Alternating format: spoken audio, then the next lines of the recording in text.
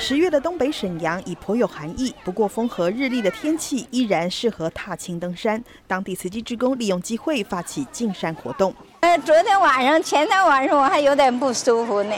哎，通过一来之后了，特别好，精神面貌啊，又不累又愉快。参加这个太好了，真的。大家一边登山一边捡拾路旁的垃圾和资源，没有错过任何一处小地方。沈阳和哈尔滨觉得就像有距离一样，但是为了一个有意义的事情来做，没有距离不是问题。嗯，环保其实是大家都应该每个人都应该做的事情。说我想立我立我从我自己的自身做起，从这一点点滴滴做起。下了山，慈济职工也利用机会为小朋友们进行环保教育。黄色瓶子埋在地底下是五百年，等你们长大了，满地底下是矿泉水瓶子的过程中，你们都没法种庄稼了。要不要保护地球？要。